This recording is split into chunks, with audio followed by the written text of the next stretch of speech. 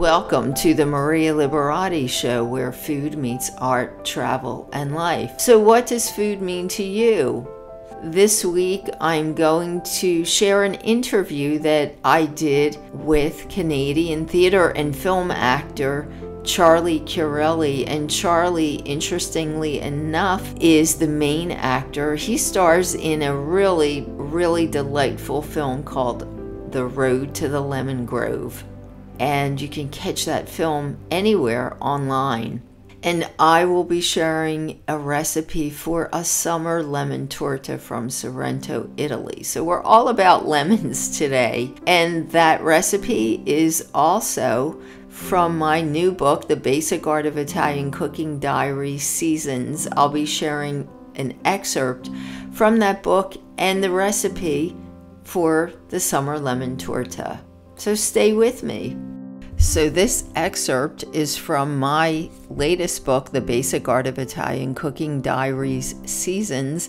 It's on page 34 and it's titled A Summer Lemon Torta from Sorrento, Italy. It's one of my diary entries from the month of July. Lemons have been used in many ways throughout history. During the European Renaissance, fashionable ladies used lemons to make their lips red and pronounced. In the early 1900s, an elixir of warm water, lemon juice, and sugar was thought to help digestion. Today, a mixture of olive oil and lemon juice is said to soothe rough, dry hands. For me, fresh, fragrant lemons signal summer. The yellow peel resembles a bright summer sun, and the fresh, hypnotizing perfume of the juice certainly make this a symbolic fruit. Sure, you can get lemons year round, but not like the summer lemons here in Italy, especially in Sorrento. The simplest way to really brighten up any dish is by adding in lemon zest or lemon juice for a light and refreshing summer dessert to be enjoyed alone or with some vanilla gelato, mix a pound of fresh strawberries whole and halved with the juice of one lemon and a tablespoon or so of sugar. Let that marinate for one hour and serve. The perfume of lemon torta wafting through my kitchen always reminds me of summer vacations at a small bed and breakfast called an agriturismo in Sorrento, Italy, where the air is infused with fresh lemons. The view of the Bay of Naples, the perfume of fresh lemons, and the vibrant colors all combine to make for a resplendent experience. And as promised, here is the recipe for the lemon torta. Now, this serves six to eight people. The ingredients are two cups of flour sifted one and a half cups of sugar, four fresh lemons, one half cup of unsalted butter, one cup of warm milk, four eggs, one teaspoon of baking powder, one teaspoon of vanilla, six fresh lemon slices, one cup of candied fruit, six maraschino cherries. And before I give you directions, just as a side note, for those that need to eat gluten free, you can substitute the two cups of regular flour for two cups of a gluten free flour. Um, if you need to eat sugar free or want something with less calories,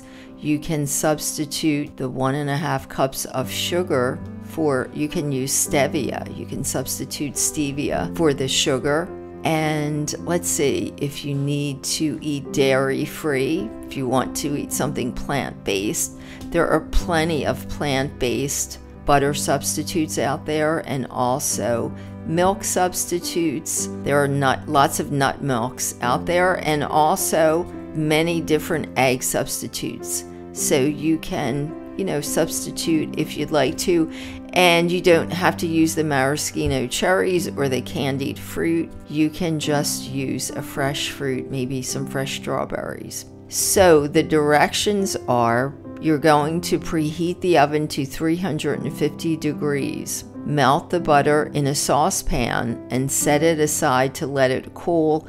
Be sure that you don't burn the butter so as soon as the butter melts, set it aside to let it cool. Juice the four lemons into a small bowl and set that aside. Grate the peels of the four lemons, set that aside. Cut the candied fruit into small cubes and set that aside. Separate the eggs into two bowls. With a hand mixer, whip the egg yolks with the sugar until blended and creamy. Add in the lemon peel and lemon juice a little at a time to the egg yolk mixture while blending in. Then you're going to add in the sifted flour one quarter cup at a time, blending in after each addition. Add warm milk and melted butter a little at a time. Beat the egg whites in the separate bowl until the peaks have formed. Fold the egg whites gently into the egg yolk mixture. Add in baking powder, candied fruits, and vanilla. Butter and flour a pan, or you can cover it with parchment paper. Bake in the oven for 40 minutes. Remove the cake from the oven and let it cool. Place on a serving dish, decorate with lemon slices, that's fresh lemon slices, and maraschino cherries, and serve. Hey, this is Maria Liberati, and I just want to mention that I am doing my podcast today. I'm so fortunate I'm doing it at this award winning design studio. It's a showroom kitchen um, designed by Gaiman Studios. They're in uh, Harleysville, Pennsylvania. So we're right outside of Philadelphia, and it's the most beautiful kitchen. I know you can't see everything, but they have won so many awards for their design. So I've got I've gotten the I'm fortunate enough to be able to film this episode here, and I am also lucky to have with me Charlie Chiarelli, or how do we say it in the American way, Charlie Chiarelli? Let's do it the whole the whole way. I was yes. born Calogero Chiarelli. My first real name is Calogero, which yes. is the name of the character in the movie, as it were. Uh-huh. And, and of course, that evolved when, when the nuns who taught me grade one couldn't say Calogero, all they could say is Caligula. They changed my name to Charlie. So in, I, I, grew up with Charlie Chiarelli here. Uh-huh. I'm, I'm, in Hamilton, Ontario, where I grew up. Yes. Uh, and so, so Charlie is it, and it's uh, Charlie Chiarelli or Calogero Chiarelli or Hey You or Cha or. or and I, I have to mention too, he's an international actor, and uh, yes, he's in. We're talking to him. We went. To, we're going to Canada today. Wow, I love Hamilton, Ontario. I've been there. Lots of Italians there, oh. right? Yes. Yes. Well, here, here's, here's something for you, Maria. There are 38,000 people from my hometown, eh, Racalmuto, in uh-huh. Sicily, in Hamilton, and there are only 10,000 in Racalmuto. Oh my goodness. The whole town has poured into the city. Oh my gosh, it's the same thing. I know my family's from Abruzzo, and there are a couple of towns that they have their feast days in, like right outside of Toronto, because there are so many that have come there, you know, from from Italy. So I know exactly what you're talking about. But um, Charlie's going to talk to us today, especially about many things, but the film that he's in, The Road to the Lemon Grove. If you haven't seen it yet, when was it? It was just released, right? When was it released? Uh, it, was just released on streaming platforms or uh, whatever you know, Amazon, etc. Yes, on yes. July, July 7th. However, we did have a national run, uh, a theatrical run before COVID that was very successful, as a matter of fact. Uh-huh. Uh, uh, so, so this is a basically a re-release for the streaming platform. There's a DVD, yes. and, and allow me to put a plug in for this DVD. Do, you mind? Yes, def- no, no, I want you to in this DVD, there are, of course, well, not of course, there are outtakes. Now, uh-huh. there's outtakes and then there's outtakes. Yes. When you're working with Italians, they're zany outtakes, yes. right? Yes. But there's also uh, Dale Hildebrand, the wonderful director and producer with whom I had worked or with uh, for this whole thing.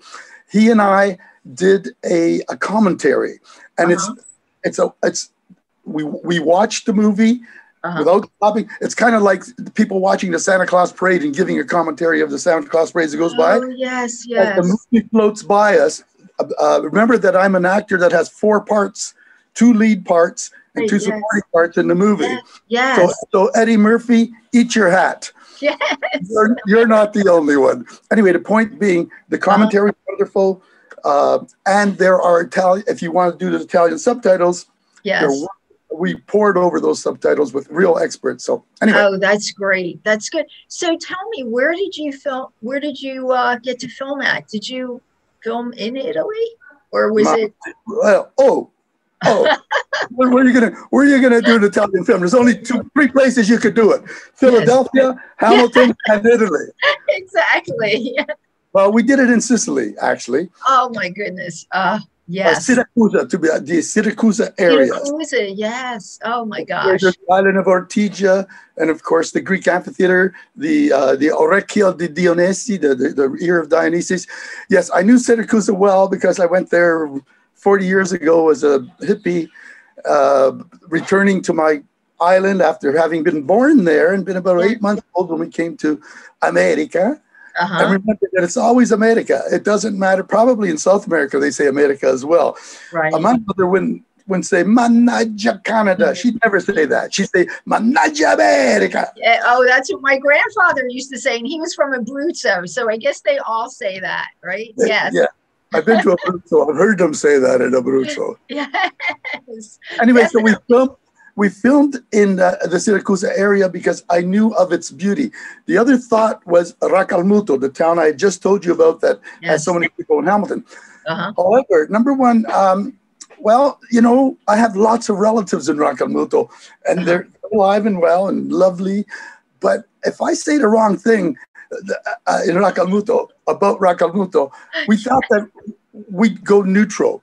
We uh-huh. made up a town called uh-huh. Terra Mare. That's good. Yes. And as you know, Terra Mare means land and sea. Not, uh, yes. Not everybody knows that, but yes. Um, and so we, had, we actually had a, a, a, sign for the street that really fooled some of the locals because we put up a real sign. Oh you know how movie, how movie, so they're driving, going into Siracusa and going, where the hell am I? Terramare, what is this? Uh, so because if you make up uh, a, a town, Yes. You can go to any town you want yes. around the area. So there must have been about 20 towns that we went into, not to mention Toronto, uh-huh. um, Hollywood North, uh, a yes. little bit of Hamilton.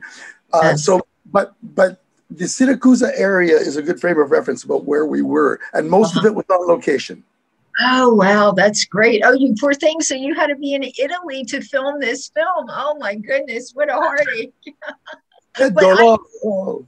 yes, I know what you mean about uh, your family and mentioning the town because you know I I lived in Abruzzo for many years. Family, part of my heritage is from Molise, uh-huh.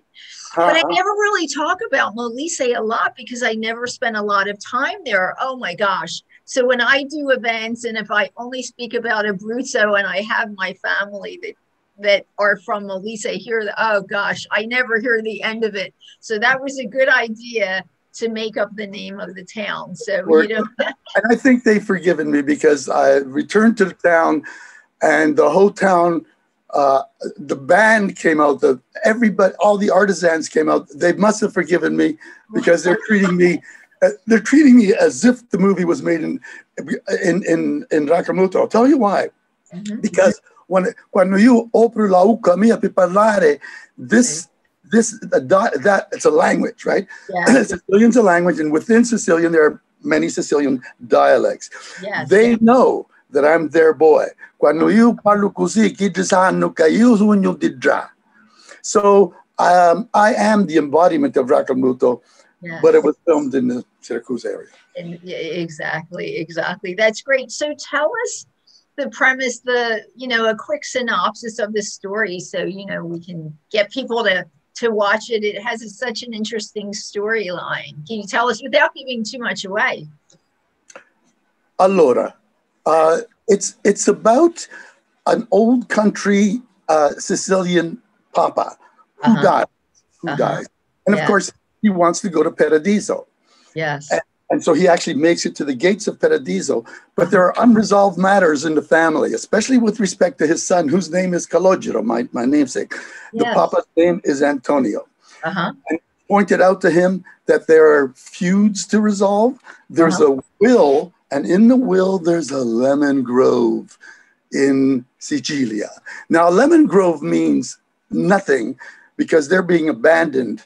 But right. the lemon grove has a Madonna that performs miracles. Uh, and one side of the family wants to exploit this into a theme park where people have to, which is which is I think it's uh, La Dolce Vita, one of the one of the Marcello Mastroianni movies. Yes, yes. We hearken upon a lot of movies in this one here. Or the Fellini, Fellini, Federico Fellini, something to do with Fellini. Yes, yes. We hearken upon well, Fellini and Marcello, of course. Marcello, yeah, they work together. Yes. Um, so, so that particular theme. So we had to, you know, we had to put a Madonna in it. Otherwise, what the hell are they arguing about? Exactly. Yes. Who cares? Who gives a damn? So. Uh, uh, so, he, so he has to resolve this matter, and the person through whom he had to resolve it was his son Calogero. And his son is a university professor of linguistics. Uh-huh. Because he's a professor of linguistics, and I play the son and the father. So, yes.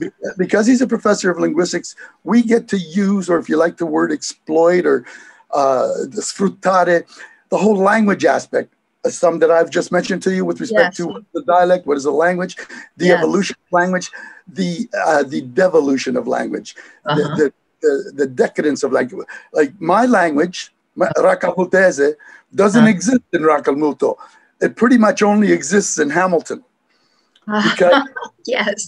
Because, and that's true for Molizani and all it, over. The, it is, yes, I can attest to that too, yes. Italianization of the country post war. And, yes. and has people like you and me, mass yes. media, bringing yes. Italian to them.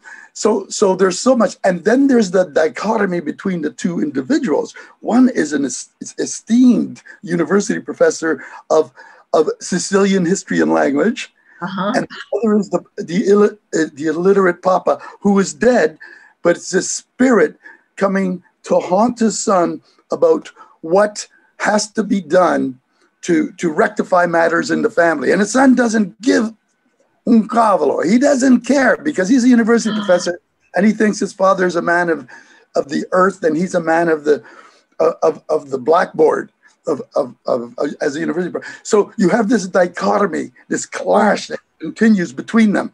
Yes. And and the final uh, manifest, not final, but uh, this is what goes from chat from Act One to Act Two. Yes. Papa wants his ashes in Sicily. The ghost is is, uh, but we, we don't make it seem like you know go booga booga ghost. You see Antonio in the flesh. Uh huh. He's dead, but you know how if you yes yes. And, and he wants his ashes back home and said, well, the family will lose it if we cremate you because eventually he haunts them to the point by coming to his lecture hall uh, oh. as a ghost and, and, and mocking the crap out of him while the students don't hear it until he's fighting a ghost in front of the students. oh my goodness. lost it according to the students, of course. And at that point, he has no choice. He goes, What? I, this is crazy. I've got to bring the ashes back. And then a breath of fresh air because he's going back to a home he didn't really know because he was under, he, like me, was under a year old when he, they emigrated. Oh, okay. As much as his head is full of all the facts of the philosophers that were the Greek philosophers based in uh-huh. Sicily, of which there were many, many. Yes. All, all those facts about language and dialect. Now he's going to where all that information is held. His oh, yes. island of Sicily with his father's ashes under his arm. So the story evolves as to what not only not only do we deal with what happens when you immigrate, Yes. But now that us Italiani are in positions of going back, yes, as, as people who have been actualized in professions, etc. etc., What happens when you go back? Like yes. discover, for instance, that they don't speak the language. Yes, yes. yes. Uh, discovering about the two families who are feuding, and then of course there's the matter of the lemon grove. Yes, yes. Ah. Uh, that gives you a, a, long story of what it's about. Yes, I think that's definitely enough to get you know that that definitely got my interest up. I would love to. I'm going to definitely get that get to see that this week. I didn't get a chance to, but I will definitely get to see that. So share with us. I know I had asked you if you wanted to share a recipe. You know, as Italians, we just grow up with food and cooking in the kitchen all the time. Go ahead. I had to close the door. Oh, so I was going to say, I know, you know, I was asking you if you have a recipe or something, but, you know, Italians, I know you were remarking that we don't do formal recipes. Our mothers didn't, our grandmothers didn't. It's just, right, a little bit of this, a little bit of that. And, you know, they knew how to do it.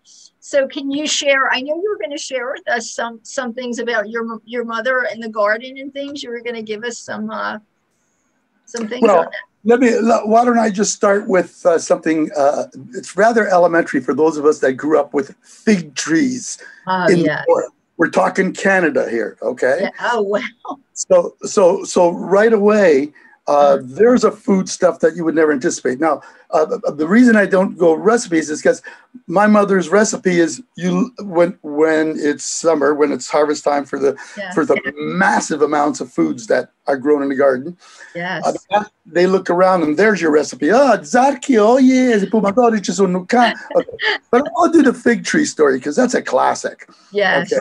No one would ever think it but my father and, and others from the neighborhood, remember, you know, the t- Italians cluster around neighborhoods. Yes, yes. And in Hamilton, they're from the same town, not only the yes. same. They, they brought uh, branches that they kept alive that were rooted in water when they got here. Oh my um, gosh. From, from Sicily. Yes. And did my father. That uh-huh that little thing grew in the basement because the, the basement in the early days wasn't a rec room and it's right right. It was a second kitchen even yes. if the dirt floor. Yes. So it would grow in in the in a hole in the basement yes. till it got a particular size.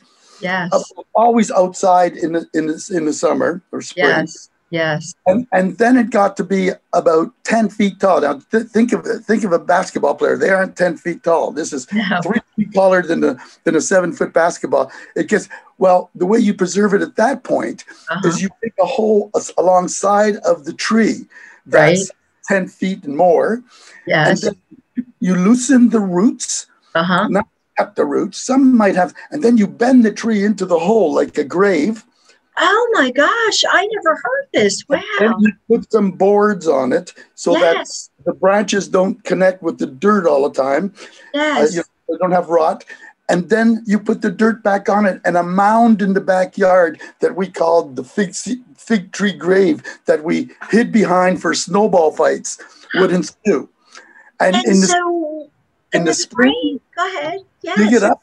You dig it up and you set it up straight and of course it doesn't and, and it's still growing the damn thing yes. oh my gosh and the most delicious purple figs ensued oh from, my from gosh and we would use it for different things including cooking yes. but also for yes. peeling so yes so and just eating we were eating fresh figs that's one small thing that is a that's an example of uh-huh. our, our, attempts to grow watermelon and so when my mother cooked uh-huh. she went garden and got stuff. Now, when it was winter, she went to the market, you know, and of course, yes, yes. she couldn't speak English, so she she had, oh, give me this, uh, this, and this. when she cooked it, so a little bit of this. She used the word apitanza in the summer. This was you were asking about a recipe. Well, the recipe was go to the garden, get some of the most uh, you know, fabulous vegetables. And remember that Italian, uh, Sicilians, unlike some parts of Italy, do not cook picante. Okay. Yes. Uh-huh everything it has a lovely spice to it, but yes. not like excuse me. I love the calabrese. Most of my friends are calabrese, but not like the calabrese no, that I off. I happen to like picante, so I love eating with my calabrese friends. But my mom would make a pot, uh-huh. and and put all kinds of vegetables in the pot, and the smell that ensued from a big cauldron oh, of a yes. because she had six kids, don't you know? Oh my gosh! So she had to feed them, and uh, we were poor, as everybody can attest when they're immigrants. Right. So that so the recipe was go out to the garden smell, see what's ripe, and put it in the pot and cook it. But she also made her own cannoli. I remember she was. Uh, it was always. Uh, I was the one that had to get the old broomstick and saw the broom handle off, and uh-huh. then saw it off into little bits so she can wrap. Oh my gosh, uh, the the wrap the cannoli, the pasta, right? these are little kind of. I, am not a cook, but I've been privy to the some of the best cooks in the world. I'll tell you. I'm, yes, I'm sure. I'm sure you are, and it's isn't it amazing the way they they did things? They're just better than professional chefs. And the amazing things that they did especially being poor and they just knew you know how to make the most wonderful and things like that it's just unbelievable you know amazing. But i was re- i was really amazement with the fig tree story because i actually i i had to my mom grew up in an italian neighborhood in philadelphia and her father was from from Molise, and he always had a fig tree, and she always used to talk about climbing the tree and eating them for the summer. Yeah, so I wanted to get her that. Well, Philadelphia is a little further south. You might have gotten yes. big. a bigger uh, for climbing. But uh, intro- the, the story of introducing Americani, uh-huh. who are not Italiani, to figs that have never eaten figs, yes. and then telling them that you got them from your backyard when I was in university. And they're going, "What are these?" I roll them out. yes, I well, what what are these things? Because they only can relate to dry figs, not fresh. Yes, figs. And not fresh figs, non-imported fresh figs. Yes, from yes. Philadelphia, from wherever. Now, not everybody buried the fig trees. I just want you to know. Yes, Even yes. our neighborhood in Philadelphia, some put greenhouses around it. Yes, that's Another, what, But that's after a while, you couldn't take it in after a while. But mostly yes. you took it in and out until it's a particular size. Until yes, yes. And yeah, you freak out the the uh, the Vero Americani about these are fresh. Well, you, you don't freak them out so much because they don't even know what, what the hell it is when they, they are. I know. I've had. I've actually introduced a few people because now I I started one fig tree and now I have a few and I've learned. Yeah, we, we our our winters aren't as brutal as they are in Canada. So we have like I I have like greenhouses around, but I have about four or five fig trees now, and uh, oh, they're My just God. oh they're just I love I just love fresh figs. There's nothing better it just it reminds me of being in Italy in the summertime. You know, the, oh gosh. So um so we have them too, but that's a that's a beautiful story about your mom. So any new anything coming up? Um, where can people find you or do you have anything coming up? Or I guess you're just promoting this film right now, right? Because it just came uh, out. I, am never only just anything uh, yes. because I, I, am a professional harmonica player and I'm also uh, a theater performer. And That's I've right. Written, you do. Inter, you're inter, yes, you perform internationally. So, so any projects so, coming up? Well, I've just completed a theatrical pro- project for the Fringe Festival in Hamilton, which was beautiful. And it's not Italianesque. Yes. It's, it's it's it's American because it starts in Baltimore and ends up in Saskatchewan.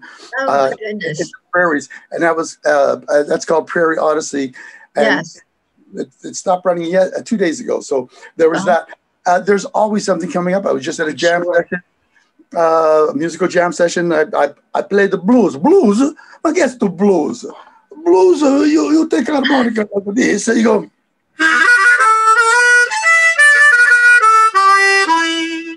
But I want to get back to food. Yes. The, the movie is also all about food. All ah. food. Matter of fact, Dale Hildebrand started his idea of the script with yes. thinking about what, how lovely it would be to have a long table and a beautiful piazza. And of course, then you got to think of themes, wire, you yes, know, yes.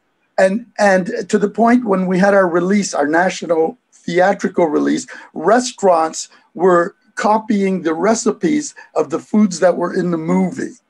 So oh, wow. the movie has become iconic. Yes, yes. When you watch it, your eyes will tell you uh, about the foods, uh, Izzarchi, yes. and Rapini, and uh-huh.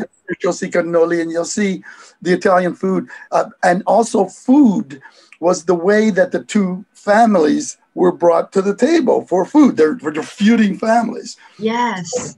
So the ghost says to his son, "Gotta bring get the families together." Uh-huh. And so the son says, "Well, I've got." Remember that his love interest is his beautiful uh, model actress named Maria, and she is the prima ballerina of Italy. Oh she my is goodness, she is! Wow. We had to put her in a holding tank. She was wherever we went, she was followed for autographs. Oh so, my goodness! Uh, and that was Rossella Brescia, and she's. A, I remember that we have Americano. Uh, uh, we have Burt Young from uh-huh. Rocky two and three. Oh my goodness! I didn't realize that. Oh wow! Brilliant. He plays. Uh, he plays an uncle, whereas uh-huh. I play a papa. He plays an uncle. But my yes. papa, six hours of makeup before oh. for the other role. Okay. Oh well. Nick Mancuso has made three hundred Hollywood. Yes, Nick Mancuso, I do know of. Yes. He's, oh, wow. He lived next door to Michael Douglas. He's our other Hollywood person. So we have, and and then uh, a young ten year old at the time who was now yes. like sixteen. Yes. I had to teach him Sicilian because he plays the son. Uh-huh. He had to learn Sicilian, and we have some really touching parts uh, that that denote poverty, but we yes. also have touching parts that denote the success uh-huh. by virtue of Calogero being a university professor alone. Oh, yes. of the success. So wow. we we we're we're chock full of uh, great actors. Yes. Uh, and and I don't mind saying it, it was my first film. Oh wow, wow! But you're you know you have a lot of experience in theater as an actor, so that's well, definitely you bring that to the to film. So Charly, before we run out of time, I usually ask some of my guests um, what this question. Maybe you can you can tell me, and I usually like to share this with my audience. What does food mean to you? If we asked you that, what does food mean to you? It, it is the center of being. Um, this is not an exaggeration. This is I'm not speaking as a stereotype Italian. Yes. I, am speaking. Food is life. You know, I, I, mean, there are other beautiful things to dance is to live, but to eat is to live. Um, you, are not, and, and what people who aren't Italian have to know is we're, we're not immersing ourselves into our culture, that our culture brings forth food like a volcano that, that erupts. It, it, it, it really, it, now we're not always conscious of it, uh, those of us that aren't like our parents and grandparents but but we're always aware. So I'll make a, a, distinction between awareness and consciousness. I grew up in a family that was conscious of it. Uh-huh. Uh, as somebody that became an Americano, I'm always aware of it. But and it only takes, you know, you say, you just say the word uh, Cindy Tucci, and I go food. Uh, yes. say, uh, Anthony Bourdain, and I go food. Yeah. Uh, Maria, food. you know, you. Um, uh, food is, is, is kind of like the fulcrum, the center of being, uh, the, the way to be. If you understand food, then you understand life because it's all about ingredients, it's all about the right ingredients.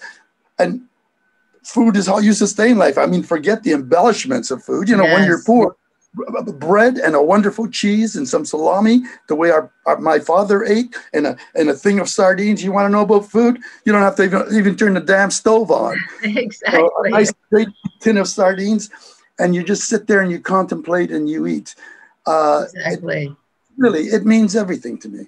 Thank you for that. So, Charly, where can we find you if anybody else wants to find out about you? Do you have a website or? Do actually. Uh, the spelling of my name is always tricky. Yes. But Charly, uh, uh, keep in mind that I'm the only Charly uh, Chiarelli in the world because right. there are a lot of Calogero Chiarellis. Yes. In my town, there's like tons of them, but there's only so Charly is spelled C H A R L Y, no I E, right. no E Y. Right. I reserve and, and and Chiarelli, well, I, you have to put it on the screen or something, but uh, yes. uh, you can find that. But the thing to, to find, because yes. the movie is hot to trot, yes. is Road, Road to the Lemon Grove. Yes. If you Google Road to the Lemon Grove, chase it around until you get to Amazon where you can order the movie. There are a lot of sites where you can order the movie yes. uh, streaming, or you can order the DVD, which is recommendable too, because it is – a glorious piece for your library. It's going to be up there with Cinema Paradiso. Uh, it, it's a uh, it's a beautiful life. You'll see when you watch it. Yes, I, I, guarantee you that. And I'm not speaking through my head and my perspective, but uh-huh. those that have seen it have come back to me, and I'm just I'm almost embarrassed about how much they love it. Yeah, I've heard I've heard some amazing things about the film, and we're going to put it up on my website and social media. We're sharing this interview on a lot of places too, so uh, we'll definitely share a lot about the film and links to the film also. Well, thank you, Charly, so much, and much success to you. And I'm sure I'm going to have you on again because you're always doing amazing things. So I'm sure we're going to talk to you again. And uh, much success with this film, also. Maria, much success to you, first Thank of all, you. from evolving from, from being a model to this. Well, it's all about beauty, and food is beautiful, and you are beautiful. I'll be very glad to come back to your show. Oh, definitely. Thanks so much, Charly. Have a great buon Ferragosto. Buon. Ah, veramente? Buon Ferragosto anche a lei. Sì, grazie, grazie. Ciao, ciao. August 15, Ferragosto. And, and love to Chef. all the listeners. Road to the Lemon Grove. Yes, the Road to the Lemon Grove. Thanks again, Charly. Ciao, ciao. ciao, ciao. Thanks for listening to the Maria Liberati Show. And as always, thanks to my producer, Britton Roselle, and this week's guest, Charly Chiarelli from The Road to the Lemon Grove. And you can find the book, that my recipe for the lemon torta is from. It's my latest book, The Basic Art of Italian Cooking Diaries Seasons. You can find that book on Amazon, on Kindle, at artoflivingprimamedia.com, at marialiberati.com, and really anywhere books are sold. And also, I wanted to make mention of a special book I had the honor of doing the English translation of. I actually translated an uh, Italian, it's actually an award winning book in Italy, and it's titled in English. It's by award winning journalist Laura Donadoni, who's known as the Italian Wine Girl. And uh, the English translation that I did is called How Wine Can Change Lives Seven Stories of Courage and rebirth. That's seven Italian wine stories of courage and rebirth. And it's a really interesting book. It's a different type of a book, really interesting. And if you like reading about the small, little family wineries in Italy, you will really enjoy this book. That's really a little bit about what it's about Again, How Wine Can Change Lives Seven Italian Wine Stories of Courage and Rebirth. The author is award winning Italian journalist Laura Donadoni, and I did the translation, so you'll find my name as the English translator. And as always, you can find me on Facebook at Chef Maria Liberati. You can also find me on Instagram at Maria Liberati on Twitter at Maria Liberati, on LinkedIn at M Liberati, and on Pinterest as Maria Liberati.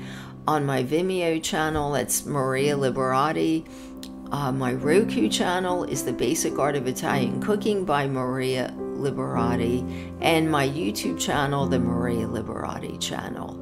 And as always, if you get to recreate that recipe from this week, the summer lemon torta, please take a picture, share it, hashtag it, the Maria Liberati Show, and we'll share it also on the website for this podcast, the marialiberatishow.com. And until next week, peace, love, and pasta.